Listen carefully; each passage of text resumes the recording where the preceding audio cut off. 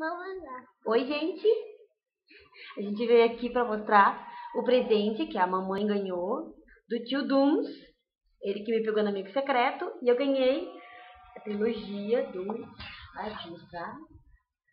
Game of Thrones. Sinto inveja. Duna, quem pegou a mamãe no amigo secreto?